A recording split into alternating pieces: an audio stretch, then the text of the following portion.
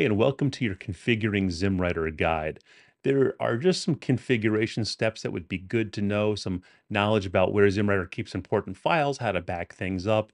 I didn't really know where else to put them, so they're best uh, placed inside of this video. It's going to be a short video, but it should be very useful to you. So I first want to open up the options menu because we're going to talk about some different things inside of here.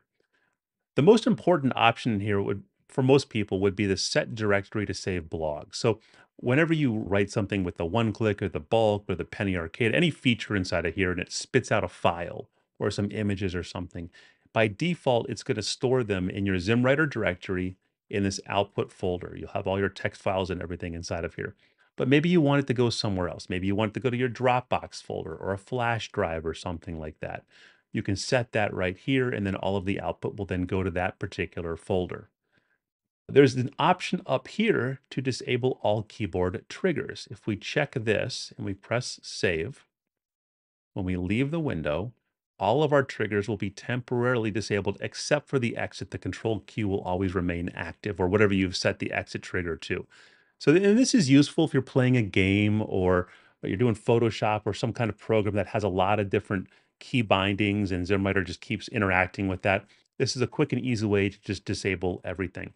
But just keep in mind that, that it will be disabled even when you restart ZimmWriter. So you'll want to re-enable it if you want to start using those things again. There's an option to disable extra stuff in file header.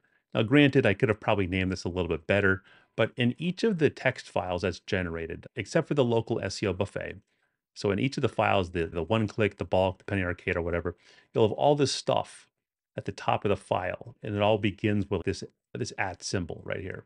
If you click this box, disable stuff at, at the top of the file header, then all this stuff right here will not appear. You'll just have a nice file right here. I personally find a lot of this information over here very useful. And if you upload this to WordPress, like the auto upload that's built into ZimmWriter, all this stuff will be automatically deleted on upload, but will remain inside of the file. So something to think about. You might just want to leave this unchecked right here. There's an option to speed up ZimmWriter by disabling the safety check calls in OpenAI. I highly recommend leaving this unchecked. You don't want to check this option.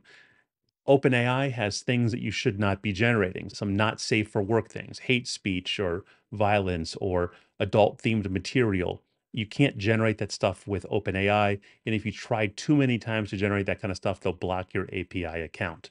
Virtually all of the calls that ZimmWriter makes to OpenAI first pass through their safety check, and it's completely free and it, it doesn't really take up a lot of time. So it's highly recommended to, to leave this as default, which is unchecked and that way everything will first pass through those those safety checks first to make sure that OpenAI considers it safe to generate. What else? This is the place that you can change uh, a new OpenAI key. You can switch your key out with something different. And you can also set your ZimmWriter license inside of here. If you have a subscription, you upgraded to a different version or something like that, you can change that inside of here.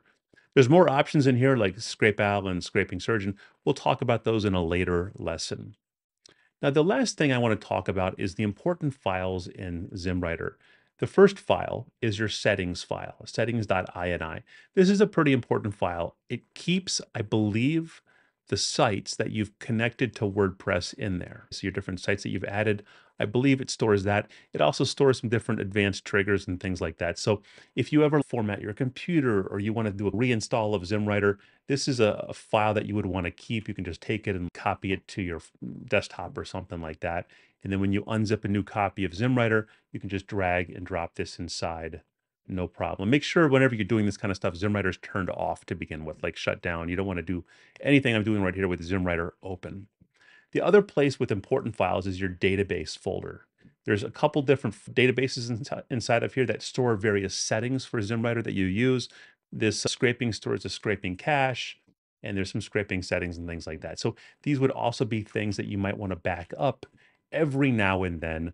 I've never had, and we have thousands and thousands of ZimmWriter users. We've never really had an issue with these things crashing. Every couple of months, it might be worthwhile just to back up this stuff. Ideally, I would just recommend closing ZimmWriter down and then going to outside of your folder and just going over here and compressing to a zip file. And then we can say backup, nice and easy. might be worth doing every couple of months just to have some backups just in case something does happen. So that's it. That's the whole configuration, everything you need to know about uh, configuring the basics in ZimmWriter. If you have any questions, just drop in the comments below. Otherwise, I'll see you in the next lesson.